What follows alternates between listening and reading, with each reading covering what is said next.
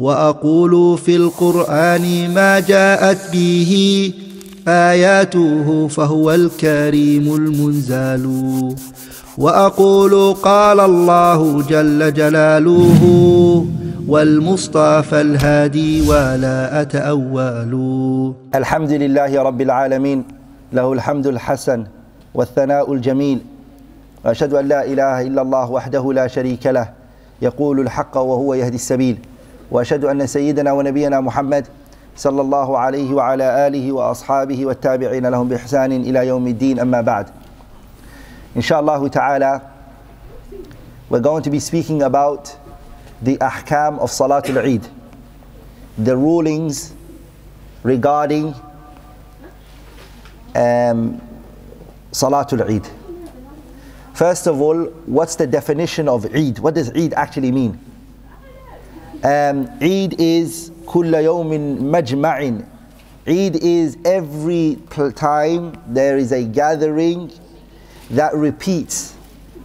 If this gathering keeps taking place, it's called Eid, as Ibn Faris rahimahullah mentions. Khalil mentions something uh, like that as well. He says, عاد يعود كأنهم عادوا إليه ويمكن أن يقال لأنه يعود كل عام. If you look at the word Eid, he's saying that it comes from the term عاد يعود. عاد means what? Repeated. يعود, it's repeating. And the reason why Eid is called Eid is because لأنه يعود كل عام. Every year it comes back to us again and again and again. So it repeats itself. So that's what Eid means according to the scholars of the language. Ibn al-A'rabi, he says سمي العيد عيدا لأنه يعود كل سنة بفرح مجدد. The reason why Eid is called Eid is because he said every year it repeats and it comes back with joy and happiness. It renews that joy into the people.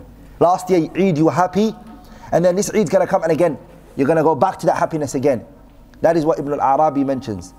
Al-Azhari rahimahullah, he says, وَالْعِيدُ عِنْدَ الْعَرَبِ الْوَقْتُ الَّذِي يَعُودُ فِيهِ الْفَرَحِ Same thing. Al-Azhari said that the Eid, according to the Arabs, is the time in which the happiness comes back again.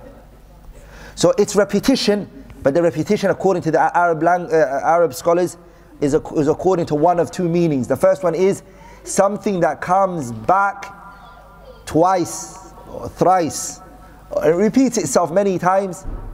It's called Eid. Anything that happens a lot of times and it keeps repeating and it doesn't stop, it's called Eid. And the second meaning is in if something keeps bringing back a particular feeling, the Arabs they call it Eid as well. Like if you're happy and etc. That is what it means in the language. As for Eid, what is its asal? What is its, what's, what's its foundation in our religion? Does it have basis or does it not? Ibn Qudama rahimahullah, he says, Al-aslu fi salati al-Eid al-kitab wa sunnah wal-ijma' That Eid has a basis in our religion and it has ground in our religion and that our religion has spoken about it. It has basis in the Quran and the Sunnah and it also has a place in the consensus of the scholars. So the Quran has stated Eid. So the asal of Salatul Eid is al-kitab wa sunnah wal ijma'. The kitab is what? قوله تعالى the statement of Allah فصل لربك وانحر This ayah فصل لربك وانحر the qawl which is mashhur fit tafsir, the statement which is very common according to the scholars of tafsir is that fasalli li rabbika, pray to your Lord is salatul eid. That's the Quran. The sunnah thabata bit tawaturi. Eid, it's found in the sunnah by multitude narration. At tawatur, it's multitude narration that the messenger sallallahu alaihi wasallam used to say salatul eid sahabas who narrated it is a large amount of number let's take one example hadith ibn abbas radiyallahu ta'ala anhuma he said shahidtu salat al-fitri i participated in salatul fitri meaning salatul eid al-fitri i participated with the messenger and abu bakr and umar فكلهم all of them يصليها قبل الخطبة they were praying it before the khutbah so Ibn Abbas tells us here that the messenger prayed Salatul Eid Eid al-Fitri the Salah that the messenger Abu Bakr did it Umar did it all of them were praying it before the khutbah Also, he said that أن النبي صلى الله عليه وسلم that the messenger of Allah صلى العيد he prayed صلاة العيد بغير أذان ولا إقامة he prayed it without any أذان or إقامة متفق عليه and then this hadith ibn Abbas is a hadith that shows what that Eid has a basis in our religion. What does it have basis in our in our religion? So we, we proved it from the Quran. We proved it from the Sunnah. And we said the Sunnah the narrations are what? Multitude. This is just one. And also ijma' there's a consensus on this issue. Scholars have transmitted that consensus from the scholars that transmitted it is Ibn Qudamah rahimahullah in his kitab al-Mughni. That Salatul Eid is what? Salatul Eid it's got basis in our religion and it's mashru' it's legislated. Salatul Eidain Eid al-Fitr and Eid al-Adha the prayer for it and that it's legislated. And Imam Ibn Qudama rahimahullah he brings it in his Kitab Al-Mughni the second volume page 231 now we're going to speak about but before we go into the next point Anas radiallahu anhu also narrated he said قدم رسول الله the messenger came صلى الله عليه وسلم المدينة the messenger صلى الله عليه وسلم he came to Medina ولهم يومان يلعبون فيهما the people they had two days which they were enjoying themselves and they were partying and they were huh? they had two days فقال the messenger said ما هذان اليومان what are these two days the messenger asked the people of Medina they were enjoying themselves they were partying so the messenger said to them صلى الله عليه وسلم he said to them ما هذان اليومان what are these two days قالوا they said كنا نلعب فيهما في الجاهلية these days that we're enjoying we, it came from a jahili practice it was something we did before Islam فقال رسول الله the messenger صلى الله عليه وسلم then said إن الله قد أبدلكم بهما خيرا منهما Allah subhanahu wa ta'ala he exchanged it for you Salah, these the two days that you're celebrating, Allah has exchanged it for you. For what? He exchanged it for you. That which is better than it. Which is what? Yawmul Adha and Yawmul Fitri. When the messenger saw them enjoying the, these two particular celebrations, he said, These two celebrations, what are they? And they said, Ya Rasulullah, kunna nal'abu fihima. We used to enjoy these things fil jahiliyyati before Islam. Then the messenger said to them, Okay. إن الله قد إن الله قد أبدل لكم إن الله قد أبدل لكم Allah has exchanged for you بهما خيرا منهما that which is better than both of these celebrations that you're currently doing يوم الأضحى Allah has given you ويوم الفطر and Allah has given you the day of fitr Abu Dawud narrated Shaykh Al-Bani رحمه الله graded this to be Hasan ولذلك ابن حجر رحمه الله he said in his كتاب فتح الباري he said ويرى ويروى أن أول عيد صلى فيه رسول الله صلى الله عليه وسلم عيد الفطر من السنة الثانية He said that it's narrated that the first Eid that the Messenger صلى الله عليه وسلم prayed was the Eid al-Fitr, the one that we're going to do inshallah after Ramadan. من السنة الثانية and it was it came in the second year of the Islamic calendar after the Prophet migrated to Medina the second year. So now we understand Eid al-Fitr and Eid al-Adha and Salatul Eid al, eh, eh, the Salah that's prayed on Eid al-Fitr and the Salah that's prayed on Eid al-Adha, both of them are legislated in the Kitab and the Sunnah and what? In the Ijma. We also took the meaning of Eid. Now we're going to go into what is recommended that the person should do on the day of Eid.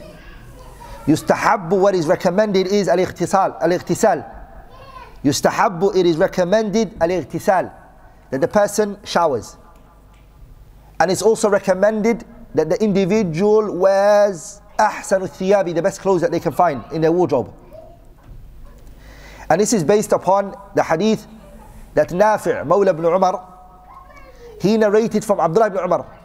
He said, أنه كان يغتسل يوم الفطر Abdullah ibn Umar used to shower on Eid day he used to shower قبل أن يغدو before he would leave the house Muhammad ibn al-Hasan al-Shaybani rahimahullah he said al-ghusl yawm al-Eid to do ghusl to shower on the day of Eid it's good well, well uh, it's good al-ghusl yawm al-Eid hasanun where uh, showering on the day of Eid is something that's good وليس بواجب but it's not obligatory وهو قول أبي حنيفة رحمه الله and this is the view that Imam Abu Hanifa held Abdul ibn Abdul Barr rahimahullah, Hafid ibn Abdul Barr, he said, كان ابن عمر وسعيد بن المسيب وسالم بن عبد الله وعبيد الله بن عبد الله يغتسلون ويأمرون بالغسل للعيدين. All of these Imams, Abdullah ibn Umar, Sa'id ibn al-Musayyab, Salim ibn Abdullah, Ubaidullah ibn Abdullah, all of them يغتسلون they would shower ويأمرون بالغسل and they would command the people to shower also للعيدين for the Eid Eid al-Adha and Eid al-Fitr Ibn Rushd rahimahullah he transmitted a consent that it's highly recommended that the individual for Salatul Eid and Salatul Fitr Salatul, uh, fit, uh, Salatul uh, Eid al-Fitr and Eid al-Adha the prayer for both of them that the person showers it's highly recommended he says أجمع العلماء the scholars are unanimously in agreement على استحسان الغسل لصلاة العيدين the two صلاة العيدين عيد الأضحى and عيد الفطر both of them it's highly recommended that the individual what he showers and also um, Ibn Rajab al-Hanbali rahimahullah he mentions it in his Fath al-Bari which is a Sharh Sahih al-Bukhari that he wrote but he mentions he says that it's not obligatory it's not obligatory that is what that is not obligatory and there's an no one can say it's obligatory. The reason why because there's an ijma' ibn Abdul Barr also transmitted that it's not wajib. It's not wajib. It's recommended. Waqtu Salat al-Eid. What is when is the time the Salat al-Eid is prayed? Salat al-Eid is prayed and I bring you the consensus of the scholars. There's no khilaf in this issue. Ibn Battal mentions this. He says, أجمع, أجمع الفقهاء. The jurists are unanimously in agreement على أن العيد that Salah, Salatul Eid لا تصلى it is not prayed قبل طلوع الشمس it is not prayed before the sunrise you can't ولا بعد طلوعها and it's not also allowed to be prayed as ولا عند طلوعها and the time that it's rising because this is the time when the prayer when the prayer is prohibited when the sun is rising you're not allowed to do that but when is it permissible وإنما تجوز عند النافلة it's permissible at the time of صلاة الضحى when it's done when the person can pray Salat al-Duha, just when the sun rises, it's right out there, then the person prays. Until what time, lakin? So what time is a person allowed to? واتفقوا Ibn Rushd brings the, the, time that it finishes. So all Ibn Battal brought is the time that it starts. Ibn Rushd rahimahullah in his kitab al-Bidayat al-Mujtahid wa Nihayat al-Muqtasid, he brings the ijma' that it's up to dhuhr time. It can be prayed. He says, واتفقوا على أن وقتها من شروق الشمس إلى الزوال. So it's what time? Ila zawali, to the zenith, the time of dhuhr. So that time we mentioned, which is Salatul Duha until Salatul Dhuhr, that's the time in which Salatul Eid is prayed by consensus of the scholars. التكبير في ليالي العيدين the, the Eid are two types. So the first Eid is Eid al-Fitr, which is the one that we're in. So that's what concerns us now. That one, the takbirah, it starts after the sunset, on the day before it. This is when it starts. And this is mentioned in the Quran by Allah subhanahu wa ta'ala to do the takbir. Allah says, وَلِتُكْمِلُوا الْعِدَّةَ وَلِتُكَبِّرُوا اللَّهَ عَلَى مَا هَدَاكُمْ وَلَعَلَّكُمْ تَشْكُرُونَ So Allah says in this ayah, وَلِتُكْمِلُوا الْعِدَّةَ وَلِتُكَبِّرُوا اللَّهَ عَلَى مَا هَدَاكُمْ وَلَعَلَّكُمْ تَشْكُرُونَ وَلِتُكَبِّرُوا اللَّهَ So you glorify Allah and you venerate Allah. وَلِتُكَبِّرُوا اللَّهَ Takbir is in here. And the takbir here is speaking about which day? The Eidain, Eid al-Adha and Eid al-Fitri, that the person expresses takbir in this particular days. Um, Shafi'i rahimahullah mentions in Kitab al-Umm, he says, وَيُكَبِّرُ النَّاسِ The people will do takbir fil fitri, which is this Eid inshallah ta'ala, Eid al-Fitri. They will do it حين تغيب الشمس when the sun sets Laylat al-Fitr, the night of Fitr. So if Eid is announced tomorrow, for example, Maghrib onwards, the people do takbir. Shafi'i says furada wa jama'a. They do it they do it individually and they do it in groups. في كل حال in any situation حتى يخرج الإمام and they do it to what time until the Imam comes out لصلاة العيد for the Eid prayer on the, the day of Fitr ثم يقطعون التكبير and then they disconnect from the takbir. They won't do that. As for like in the Eidaini, uh, sorry, as for the Salatul Eid al-Adha, sorry, Eid al-Adha, you do it for Ayyamu al-Tashriq, the three days. You would do it for those three days, the takbir is done. Dubra kulli salah after every prayer. Are we all together, brothers? Like in Salah, Eid al-Fitri, the person does it when the sun sets until Salatu al-Fajr, uh, so to, until the Salatul Eid, until it's prayed. Does that make sense to everybody? Um, صفة التكبير في العيدين how, does, how is the characteristics that is done how should it be done there's three ways that Sheikh bin Uthaymeen rahimahullah mentioned there's three aqwal in this issue the first one is shafa' shafa' means even number it's done on an even number which the person says Allahu Akbar, Allahu Akbar, La ilaha illallah, Wallahu Akbar, Allahu Akbar, Walillahi alhamd. So two Allahu Akbar and two Allahu Akbar. In between the two Allahu Akbar, the two, uh, two Allahu Akbar, and the person says La ilaha illallah, Wallahu Akbar, Wallahu Akbar, Walillahi alhamd. So that's shafa, it's even numbers. Okay? The second one is witr. Witr here means three, it's odd. So the person does Allahu Akbar, Allahu Akbar, Allahu Akbar, La ilaha illallah, Wallahu Akbar, Wallahu Akbar, Wallahu Akbar, Walillahi alhamd. So three and three, between it, La ilaha illallah.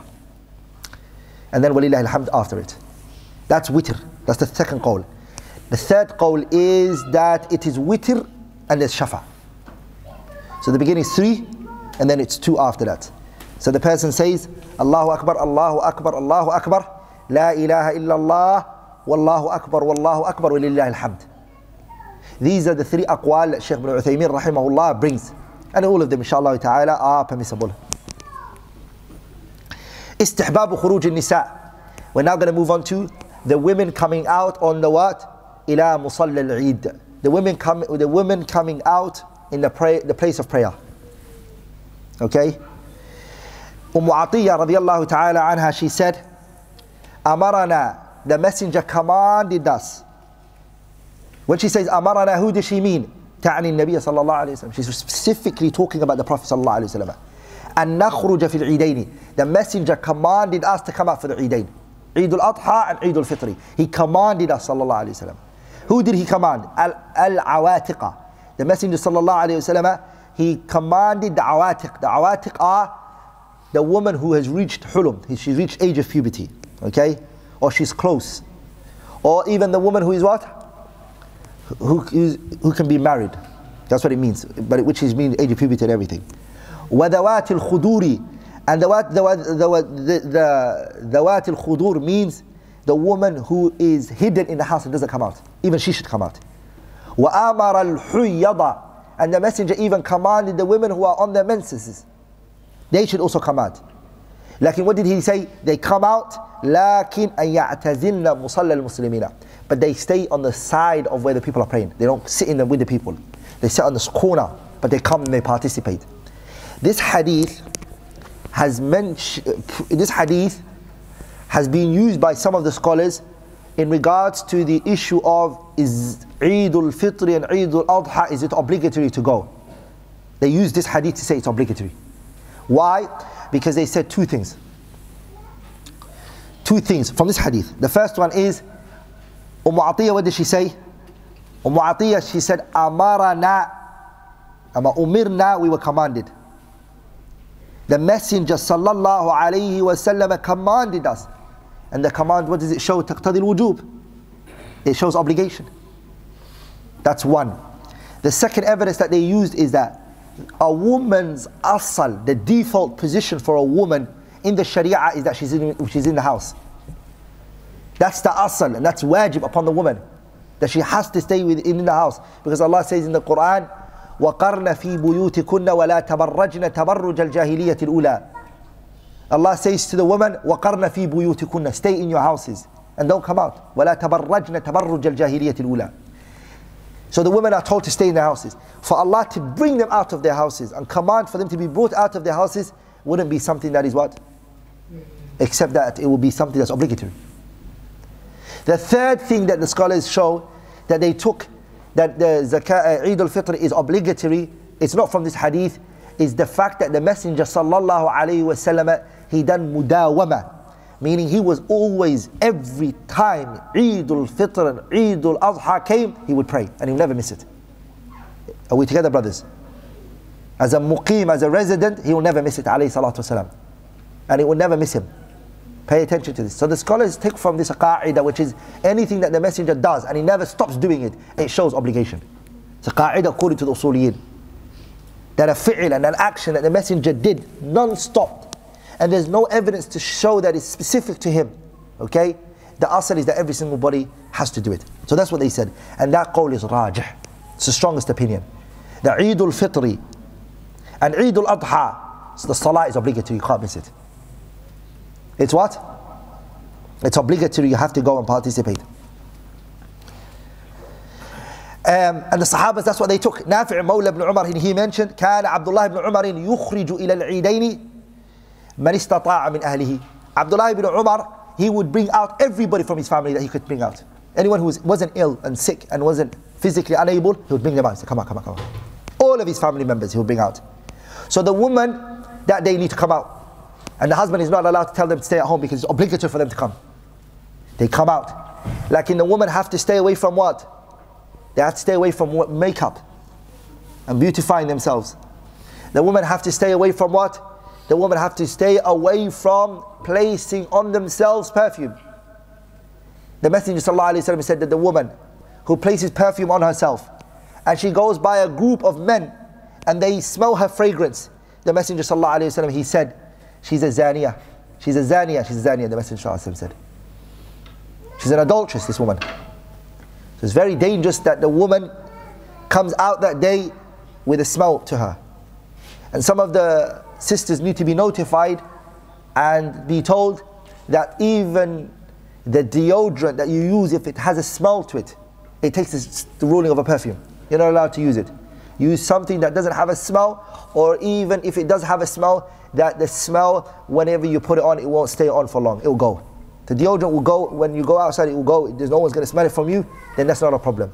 But if the smell is going to carry on with you, and so when you're on the street, everybody can smell it from you, then it's not permissible. It's not permissible. So the scholars, rahimahumullah, they mention that the woman, this day, the minimum that they say is that it's sunnah for her to come out. And the qawl which is rajih, he said that it's what? It's obligatory. It's obligatory. Also, brothers, the Eid al-Fitr is coming right now. أكل تمرات. Eating some dates قبل الخروج من المنزل. Before we leave the house. Some dates that we should have. Eid al-Fitr, try to have something prepared, eat it and go. Especially the sunnah is not to eat things but actually dates. Specifically that's what the sunnah is. And this is based on the hadith of Anas ibn Malik رضي الله تعالى عنه. He said that كان رسول الله صلى الله عليه وسلم لا يغدو يوم الفطر حتى يأكل تمرات. That the Messenger صلى الله عليه وسلم would never leave in the morning for the Salatul Eid without eating dates. And the sunnah is that وَيَأْكُلُهُنَّ وِتْرًا is to eat it, eat it odd. So have three, five, seven, nine, eleven, thirteen, fifteen, carry on like that. Have odd numbers. The sunnah is to what? وَيَأْكُلُهُنَّ وِتْرًا The Messenger ﷺ would have it odd numbers. What's the hikmah and what's the wisdom in why it would be done like that? The hikmah is as Hafid ibn Hajar mentions the kalam of Al-Muhallab. Hafid ibn Hajar brings the kalam of Al-Muhallab. That Muhallab said, Al-hikmatu fil akli qabla salah The hikmah, the wisdom behind eating before you go to the prayer is because Allah yadhunna dhan. Because the one who thinks should not think luzum somi that you're still fasting because Ramadan was just what you did. So doesn't think that, that you're still you're fasting. Hatta yusalli al-Eid. Or people don't think to themselves that they're going to fast until they go to the Eid. La. This is to prove that today there's no fasting. And we're going to speak about it later that on the day of Eid al-Fitr and Eid al-Adha, a person is not allowed to fast hatta wa in kana, even if it's a fasting of a nadar. You made a covenant an oath with Allah. And you said, Oh Allah, on Eid I'm going to fast. I promise you. And you make, and you, uh, uh, you're informed and you're told that no, you can't fast. And somebody tells you, you can't say, but I've made a covenant with Allah, I have to fast. No. Because it's haram to fast this day. You're not allowed to. So the scholars, there's a principle that they take from this, which is saddu dhari'ah, is why the Prophet ﷺ made the people fast here. The reason why the person, sorry, uh, sorry, not fast here, but the reason why the person has to eat here or eat dates here is what? Saddu dhari'ah, is to close off the door of those who would try to pretend or want to fast on that day. It's to close that door on them, to actually eat on that particular day. And Shaykh ibn Uthaymeen has a statement like that as well, rahimahullah ta'ala. Um, Salatul Eid, Eidaini, Eid al-Adha and Eid al-Fitri, لَيْسَ لَهُ It doesn't have nida'un wala adhan. There's no calling. No one says, nida is different from adhan. What's the difference? Nida is as-salatu jami'ah. As-salatu jami'ah. That's a nida. Or somebody announcing on the microphone, brothers, it's salatul Eid time now, everybody come together. None of that. Wala adhan, adhan is something shari. No takbir, Allahu Akbar, Allah. No adhan is done. Wala iqama, there's no iqama for salatul Eidain. There's nothing like that. Nothing is done. The salah is prayed straight away. It is prayed straight away. And this is based upon the hadith of Abdullah ibn Abbas and the hadith of Jabir radiallahu ta'ala anhuma that they said, لم يكن يؤذن. The messenger was not one that would do adhan. يوم الفطر ولا يوم الأضحى. He wouldn't do it on the day of Fitr and the day of Adha. He would not do that sallallahu alayhi wa sallam. Jabir ibn Samura, he said, صليت مع رسول الله. Jabir ibn Samura saying this. This hadith is Sahih Muslim. He said, صليت مع رسول الله صلى الله عليه وسلم. I prayed with the messenger صلى الله عليه وسلم. غير مرة ولا مرتين. I prayed with him not once and not twice. More than that. Are we together? But three, four times I prayed with him, salawatullah wasalam. بغير أذان ولا إقامة. Every time I prayed with him, there was no adhan and there was no iqama. And this, brothers, is what the scholars they call sunnah tarkiyah. Sunnah tarkiyah meaning the Messenger وسلم, left it and the Sahabas took from the Prophet's leaving of something as it to be not allowed for you to do it. The fact that the Messenger left it and he chose not to do it, the Sahabas took from that that you're not allowed to do it. There's no way you're going to find that the Prophet ﷺ said to the companions, Don't do adhan or iqamah. You will never find that. Are we all together, brothers? You're not going to find that. What you're going to find, though, is that he left it and they left it. So that's why we say that the Prophet's celebration of his birthday, he left it. His companions left it. Are we all together, brothers? So because he left it, salawatullahi wa alayhi, his leaving is an evidence for us what? That we're not allowed to do it. We're not allowed to. His leaving is an evidence for us and it's a proof for us. Are we all together? So we say that the same way the adhan and the iqamah for salatu, salatul uh, Eid, the salatul Eidain, the two Eids. Do the Salatul Eidain, do they require adhan and iqamah? Do they need it? Yeah, they do need it. Just like Dhuhr and Asr and Maghrib and Isha and Fajr need it. Salatul Eid needs it. There's people who need to come. It's a prayer, it's a salah. But the Prophet didn't do it. The need was there, the Prophet didn't do it. So the people who celebrate the Prophet's birthday will say to them, why are you celebrating the Prophet's birthday? Because we love the Prophet. Okay, the love of the Prophet, was it needed at the time of the Prophet's time? Yes, it was. Did they express it by celebrating his birthday? No. Then why are you doing it for? Are we all together, brothers? That's very vital and this principle to be understood. Um, now we're going to be speaking about Salatul Eid. There's no voluntary prayers that are prayed before it or after it. It's not. Abdullah ibn Abbas radiallahu ta'ala anhuma, he mentioned, أن النبي صلى الله عليه وسلم صلى يوم الفطر that the Messenger sallallahu alayhi wasallam he prayed Salatul Fitri. ركعتين لم يصلي قبله قبلها ولا بعدها. He prayed Salatul Fitri عليه الصلاة والسلام. And he did not pray any sunnah before it nor after it. He didn't صلوات الله وسلم عليه. حافظ بن حجر رحمه الله says فتح الباري والحاصل أن صلاة العيد لم يثبت لها سنة قبلها ولا بعدها.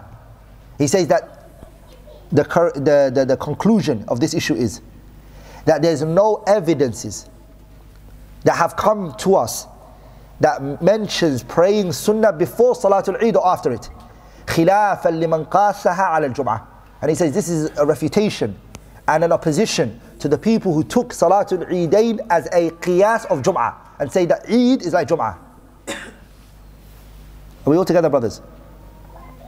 Who said it's like it's like Jum'ah. And based on that, what did they do, brothers?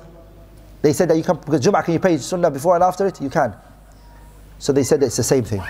Ibn, Qayyim, Ibn Hajar rahimahullah says there's no evidence for that. Also Ibn al-Qayyim says the same. Ibn al-Qayyim rahimahullah he says the same in his kitab in his Zad. He said, وَلَمْ يَكُنْ النَّبِي صلى الله عليه وسلم The Prophet was not, وَلَا أصحابه and his companions يصلون إذا انتهوا عن إلى المصلى لا قبلها ولا بعدها. Uh, the Sahabas and the Prophet صلى الله عليه وسلم they were not ones who when they came to this musalla they would not pray any prayer before it or after it. Another issue is that let's just say hypothetically we get into a situation where the Eid came, but we didn't know when we found out after Salatul Maghrib. We were informed, subhanAllah, today was Eid. And we were fasting, and we said, subhanAllah, the, Somebody came and informed us and said the moon was sighted. Inna lillahi wa inna ilayhi raji'un. I couldn't get to you guys in time. Are we all together, brothers? What do the Muslims do in this situation? The, what the Muslims do in this situation is, as was narrated from the Messenger sallallahu alaihi wasallam, and Imam Ahmad narrated this hadith, and Al-Albani rahimahullah authenticated his kitab Irwa al-Ghalil. He said that عن أبي عميرة عن عن عن أبي عمير ابن أنس قال حدثني عمومة لي من الأنصار من أصحاب رسول الله صلى الله عليه وسلم قال غم علينا هلال شوال. That Abi Umayr ibn Anas said, My uncles from Ansar informed me, and they were the companions of the Prophet, ﷺ, they informed me, he said, غم علينا هلال الشوال, that the moon was, uh, we were not able to sight the moon for Shawwal. Shawwal is the day to celebrate Eid, right? We weren't able to sight the moon, it was hidden from us. He said, فَأَصْبَحْنَا صِيَامًا So we fasted. We, what did the Prophet ﷺ tell us? That if you can't sight the moon, فَأَكْمِلُوا الْعِدَّةَ ثَلَاثِينَ Complete the month 30. So on the 29th, we sat, tried to look, we couldn't find anything. So we, third, we, fa- we fasted on the 30th day. That's what he said. فَجَاءَ رَكْبٌ مِنْ آخِرِ النَّهَارِ At the ending of the day, meaning Asr time or late Asr time, just before Maghrib, a rakb, a delegation, a group of people came. Remember that time there's no mobile phone. Assalamu alaikum brothers, excited, don't worry. The person's going to come for hours and hours, it's cutting distance. Are we together brothers? So when they made it to, the, to them, they told and informed the messenger and the companions that فَشَهِدُوا عِنْدَ رَسُولِ اللَّهِ صلى الله عليه وسلم they came and they informed the Prophet ﷺ أنهم رأوا الهلال بالأمس. Yesterday, O Prophet of Allah, we sighted the crescent. We sighted the moon. فأمر رسول الله صلى الله عليه وسلم أن يفطروا من يومهم. The Prophet said, break a fast now, everyone. Because are you allowed to fast on, on, on, a, on a Eid, Eid day? حتى even if one minute is left for the iftar time. You can't just say, let me finish off my day. One minute is left, you break it straight away. You hurry up breaking it because you shouldn't be fasting, asalan. And the reason why you fell into that fasting right now is because you didn't know. But now you know. Now the obligation starts on you not to fast. I mean, the prohibition applies to you. Are we all together, brothers? Some people they'll say, oh, only 10 minutes left, Ahi, I might as well just get the reward. No, you're not getting a reward, you're getting a sin for it. So the person is not allowed to fast. So the Prophet commanded his companions, and yufdiru min yomihim. He said, break the fast. And then what did he say to them? وَأَن يَخْرُجُوا لِعِيدِهِمْ مِنَ الْغَدِ Tomorrow you're going to pray the Eid. Because it's obligatory to pray the Salah. Tomorrow we're going to pray the Eid Salah. Are we all together, brothers? It's like a person who over, it's a person who slept for 24 hours, let's say hypothetically. A long sleep he got into. 10 hours he missed all the Salah and he woke up the next day. What's he going to do? He's going to have to bring all the prayers back. Because the Salahs are obligatory on him. That's the same thing that the person has to do. Um, the Eid, we said that the Salah comes first and then what comes after that? The khutbah. And this is different to what, brothers? Jum'ah, Jum'ah, which one comes first? The khutbah and then the, and then the salah. The khutbah, the people have the choice if they want to listen. And it's recommended that the imam informs the people that they have the choice. It's recommended that he informs them this. And this is based upon the hadith of Abdullah ibn Sa'ibin. He said, حضرت العيد مع رسول الله. I participated in the Eid with the Messenger صلى الله عليه وسلم. فصلى بنا العيد. He led us and the Prophet. ثم قال after that he said to us, قد قضي قد قضينا الصلاة we have, he said, قَدْ قَضَيْنَا الصَّلَاةِ Sorry. قَدْ قَضَيْنَا الصَّلَاةِ We fulfilled the prayer. فَمَنْ أَحَبَّ أَنْ يَجْلِسَ لِلْخُطْبَةِ فَلْيَجْلِسْ Anyone who wants to listen to the khutbah, then let him sit down and listen. Ah. وَمَنْ أَحَبَّ أَنْ يَذْهَبَ And anyone who wants to go, فَلْيَذْهَبْ Let him go. The Prophet gave that choice to them. Shaykh ibn Uthaymeen rahimahullah, he says, وَأَمَّا خُطْبَتَا الْعِيدِ As for the two khutbahs of Eid, فَلَا يَجِبُ الْحُضُورُ إِلَيْهِمَا it's not obligatory to participate. As soon as you pray, finish the salah, you can go if you want to. بل للإنسان أن ينصرف من أن ينصرف من بعد الصلاة فورا لكن الأفضل أن يبقى. Straight away he's allowed to leave. And he has the choice of staying and it's rather recommended that he stays, that he doesn't go. It's what? الأفضل أن يبقى. it's highly recommended that he what? He stays and he doesn't go. Lakin it becomes haram. If you stay and you talk to somebody with you next to you, and that becomes a tashwish on the ones who are trying to listen. If you choose to speak with somebody, but you're not causing any harm to nobody, that's not a problem. But if your speaking is going to cause tashwish, tashwish meaning here, you're distracting the ones who want to listen to the khutbah who want to hear what the khatib is trying to say. You're standing there, you go to the back and you just chat. Or you're sitting in the middle of the khutbah and you're listening, you're talking to somebody, okay, is everything fine? And your voice is so loud that the khatib and the people who are trying to listen can't do their, what they're trying to do. Then in this situation, it becomes haram on you. And you're sinning in what you're doing. It's sin, you're sinning in what? Um, it's, you're sinning in what you're, you're doing. Also, brothers, um, the khutbah comes after the salah. You have to mention this. The evidence for this is the hadith of Abu Sa'id al-Khudri. He said, كان رسول الله صلى الله عليه وسلم يخرج يوم الفطر والأضحى إلى المصلى فأول شيء يبدأ بالصلاة. That the Messenger صلى الله عليه وسلم he would come out on the day of fitr and adha he would come to the musalla, the place that they will pray. فأول شيء يبدأ بالصلاة. The first thing he would start with is the prayer. عليه الصلاة والسلام. Ibn Rushd rahimahullah, he brought a consensus. أجمع على أن السنة the sunnah is فيها تقديم الصلاة على الخطبة لثبوت ذلك أيضا عن رسول الله صلى الله عليه وسلم. This is what's transmitted from the messenger صلى الله عليه وسلم that he brought the salah first before the khutbah. Ibn Battal also brings that he also brings that he also brings the consensus of this issue. Now we're going to be speaking about صفة صلاة العيدين, how to pray صلاة العيد. The صفة. صلاة العيدين is two rak'ah. الركعة الأولى and الركعة الثانية. الركعة الأولى the person does سبع تكبيرات, seven تكبيرات. With the تكبيرة الإحرام involved, included. Are we all together brothers? Seven, Allahu Akbar, Allahu Akbar, Allahu Akbar. Seven. And the second one is five. The second rak'ah, the person, Allahu Akbar, Allahu Akbar, Allahu Akbar, they do five. Okay? This is based upon the hadith of Abdullah ibn Amr ibn As. That the Prophet ﷺ, he, at, he said, التكبير في الفطر سبعة في الأولى. That the takbir in the Salat al-Fitr is what? Seven at the beginning. وخمس في الآخرة and it's five in the second. والقراءة بعدهما كلتيهما. After you do the seven, Allah Akbar, Allah Akbar, Allah Akbar. What do you do, brothers? Then you do the recitation. And the second rak'ah you do five. And then after that you do the what? Recitation. And the recitation, we'll come to that inshallah ta'ala soon. We'll come to that soon. So now we know how to pray, right? How to takbirat. Seven and the first rak'ah is how many? Seven. Second one is what? Five. Do you have to read something in between? The scholars, they differ in this issue. Uh, when you say Allahu Akbar, Allahu Akbar, can you say something in between? Abdullah ibn Mas'ud radiallahu ta'ala anhu is transmitted from him that he used to say, he said that Yahmadullah, the, praise, the person praises Allah, yuthni alayhi, and he glorifies, praises, praises Allah. Uh, the person praises Allah wa ta'ala. And he sends salutation to the Messenger sallallahu alayhi wa sallam. In between, Allahu Akbar. He says, Alhamdulillah Rabbil Alameen. He praises Allah. I mean, he, anything he could say to Allah.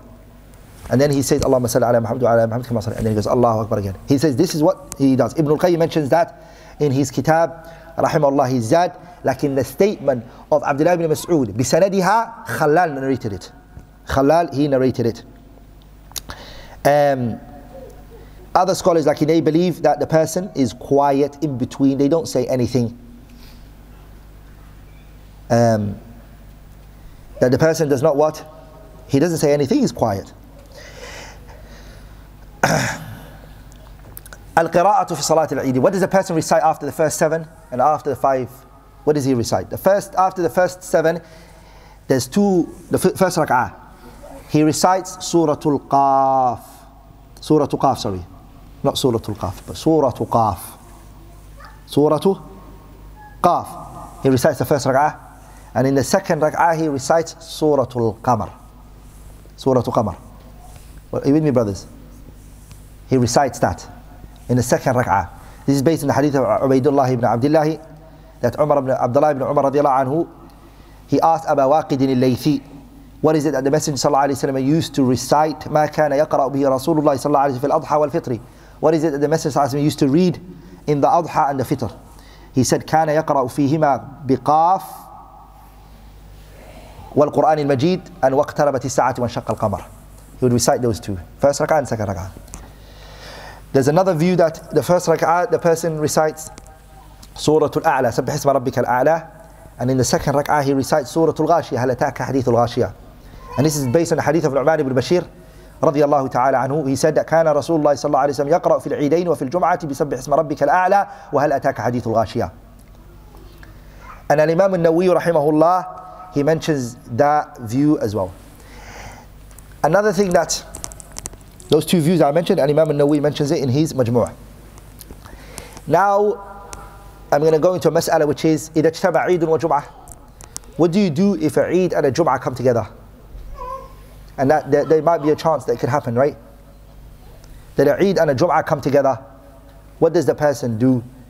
Based on the hadith of Iyas ibn Armalah, hadith of Iyas ibn Abi Armalah, um, Ash-Shamiyu, he said, Shahidtu Muawiyah ibn Abi Sufyan. Iyas ibn Abi Armalah is saying that Shahidtu, I participated with Muawiyah ibn Abi Sufyan وهو يسأل زيد بن أرقم he was asking Zayd ibn Arqam another companion قال he said شهيد because this happened in Sham it happened at the time in Sham so Muawiyah was asking Zayd ibn Arqam قال he said شهدت مع رس he said to him Muawiyah said to him أشهدت مع رسول الله صلى الله عليه وسلم عيدين اجتمع في يوم Muawiyah said to Zayd ibn Arqam have you ever participated and seen the Messenger sallallahu alaihi wasallam happened at his time. that Eid and Salatul Jum'ah happened at the same day. And then he said, Zayd ibn Arqam, na'am. قال كيف صنع? He said, what did the Prophet do? He said, صلى العيد. The Prophet prayed Eid. ثم رخص في الجمعة. And then he gave anyone a choice if they want to pray khutbah al-Jum'ah. And the Prophet said, من شاء يصلي فليصلي. Anyone who wants to pray, let him pray. So on the people, on the people, they have the choice. They can pray salatu. They have to choose between the two because they're both obligatory. But if you pray one, the other one goes from you. Are we all together, brothers? But the imam of that masjid or the imam of that village or that town, it's obligatory for him to read both. Because the people have to have the two options. Are we all together, brothers? The people who prayed the Salatul Eid, they might not want to come for the Jum'ah. But the ones who didn't come to the Eid, they might want to come to the what? They might want to come to the Jum'ah. So they have to have that option open for them. There shouldn't be that the whole masjid said, no, we're not, we prayed Eid, we're not going to pray Jum'ah. La, the Jum'ah still has to be established in that masjid. Are we all together, brothers? So the one that who prayed so the, the one that didn't pray the Eid has the option to pray the Salatu al-Jum'ah. Um, Abu Hurairah radiallahu ta'ala anhu also said, قد اجتمع في يومكم uh, he said that أنه قال that the Prophet ﷺ said to the companions uh, قد اجتمع في يومكم هذا هذان أما هذا عيدان فمن شاء أجزأه من الجمعة وإنا مجمعنا the Messenger ﷺ mentioned that two Eids have come together. Because as Muslims, we have three Eids, right? We have the Eid al Adha, Eid al Fitri, and we have the weekly Eid, which is Friday, right? Friday is the Eid for the Muslims. So when two Eids come, the Messenger ﷺ told them two Eids have come together. The Eid al Fitr, Eid al Adha, all the, the Jum'ah came. Then the Prophet ﷺ said, فَمَنْ شَاءَ And anybody who wishes to pray the Jum'ah, it will suffice him for the Eid. It's very important. So the person has the choice to do the bo both, whichever he wishes. Like he has to do one. What about if the Eid misses you? You came late. When you got to the place, they prayed already. Everybody was coming, walking out. What do you do in this situation? Anyone who misses it, صلاها في البيت ركعتين. Go back home and pray two rak'ah. Pray what? Two rak'ah. You pray what? Two rak'ah. ولذلك الإمام البخاري رحمه الله in his صحيح chapter bab he said باب إذا فاته العيد يصلي ركعتين وكذا النساء ومن كان في البيوت والقرى لقول النبي صلى الله عليه وسلم هذا عيدنا أهل الإسلام وأمر أنس بن مالك مولاهم ابن أبي عتبة بالزاوية فجمع أهله وبنيه وصلى كصلاة أهل المصر وتكبيرهم وقال عكرمة أهل السواد يجتمعون في العيد يصلون ركعتين كما يصنع الإمام وقال عطاء إذا فاته العيد صلى ركعتين That's the chaptering of Bukhari. All of that was the chaptering. That individual, what does he do? he just prays two rak'ah. Lakin if the person catches up with the, the khutbah, uh, Salatul Eid, but he catches up on the last tashahud, the final and last tashahud. Are we all together, brothers? He catches up with the tashahud, the last tashahud. He catches up. He repeats the Salatul Eid in the way that it was done by the Imam. Because the Prophet ﷺ said, said جُعِلَ الْإِمَامُ لِيُؤْتَمَّ بِهِ The Imam was being made to follow. So the person has to do the seven takbirat, takbirat. Recite after that Surah Al-Qaf, Ama Surah Al-A'la. The second rak'ah, uh, Surah Al-Ghashiyah if he wishes, or he reads Surah Al-Qamar. Are we all together? And he does the five takbirat in the second one. Are we all together, brothers? That is, is what it is. That's also the fatwa of the Hayat Kibar al-Ulama. Um, um, now we're going to go into the Salatul Eidain. Is it two khut, is it two khutbah or is it one? What do I mean two khutbah? Does the Imam stand twice? Or does he only just have to stand once? We all together? The scholars they differed on this issue.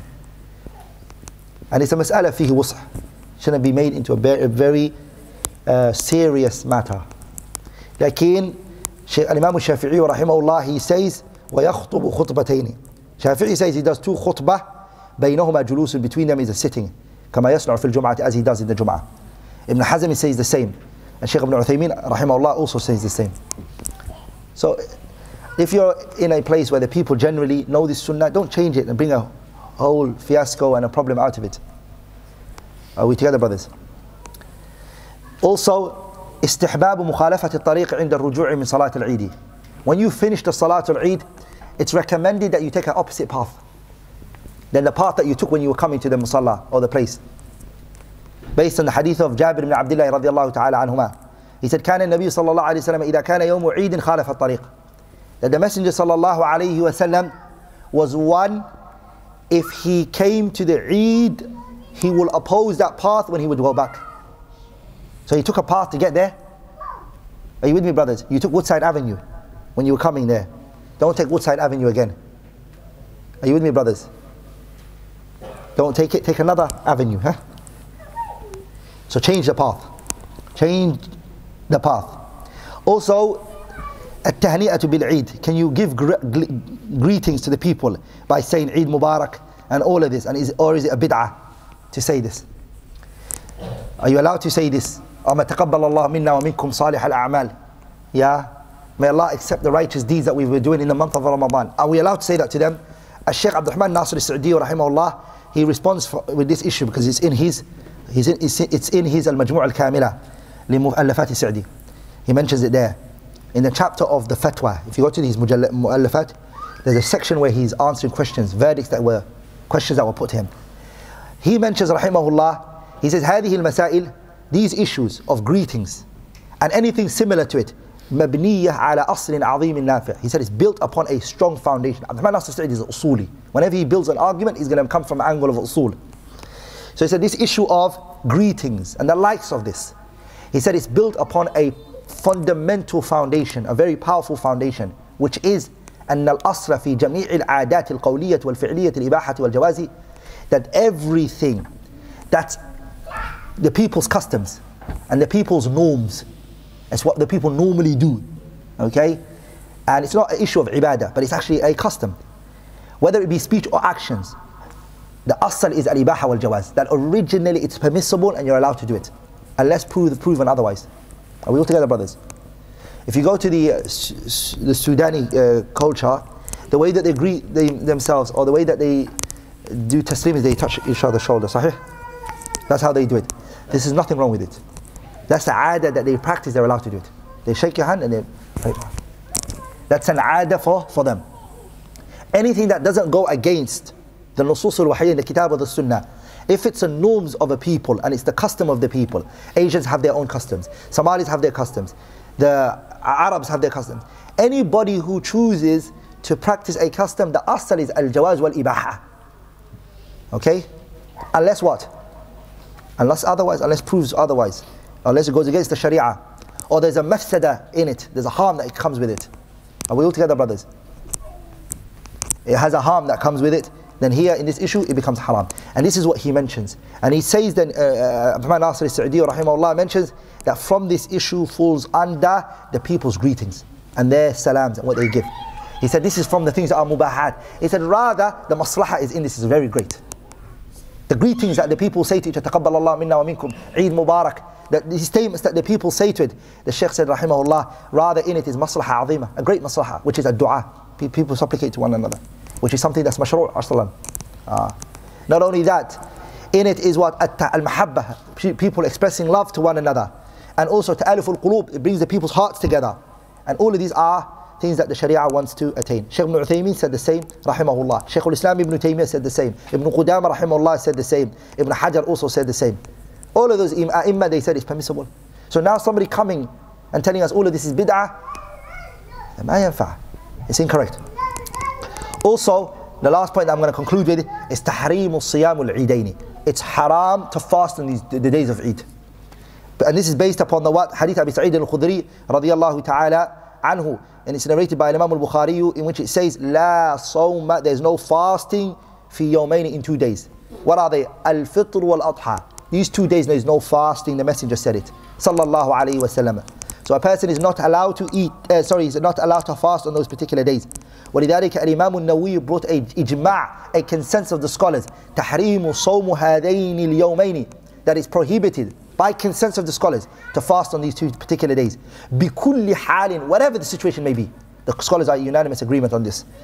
صَامَهَ عَنْ نَذْرٍ Whether you're fasting, uh, uh, the person fasts these two days عن نذر because of a nether that they made, it doesn't matter. أو تطوع, it's a voluntary fasting, it doesn't matter. أو kafara, or it's an expiation, it doesn't matter. Or other than that, it doesn't matter. The scholars are unanimously in agreement that you're not allowed to fast because of the Prophet's khutbah. He said, هَذَيْنِ إِنَّ هَذَيْنِ يَوْمَيْنِ That these two days are and uh, these two days Naha Rasulullah Umar ibn Khattab said this Naha Rasulullah the Prophet prohibited sallallahu alayhi wasallam an siyamihima he prohibited the fasting of these two days يوم فطركم من صيامكم والآخر يوم تأكلون فيه من نسكهم two days the day of your fasting of fitr and the day which you're eating what من نسككم the day when you're eating your nusuk, which is Eid al-Adha. Those two days the Prophet prohibited it. And the prohibition of the Prophet ﷺ, what does it show? That it's what? تقتضي التحريم. That we're not allowed to, that we're not allowed to do it. Inshallah ta'ala, I will conclude there bi'idhnillah al-kareem. Anything which I have said that was wrong or incorrect is from me and shaitan. And Allah and His Messenger are free from it. سبحانك اللهم وبحمدك أشهد أن لا إله إلا الله أستغفرك وأتوب إليه